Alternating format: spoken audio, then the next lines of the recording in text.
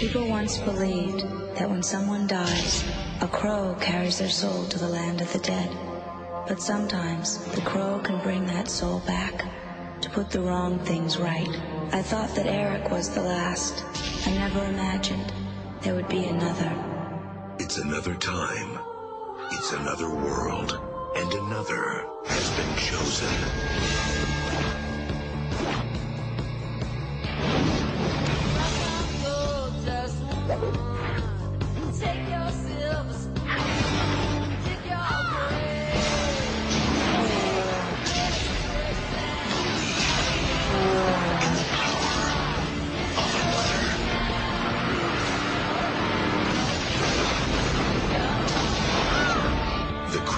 City of Angels.